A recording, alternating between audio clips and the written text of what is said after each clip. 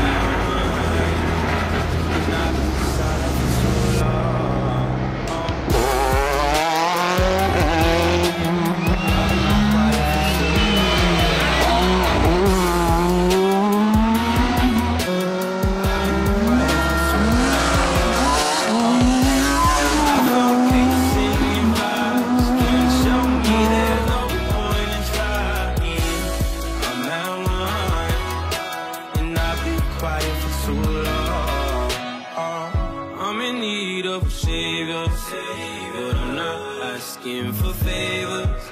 My whole life I feel like a burden. I think too much and I hate it. I'm so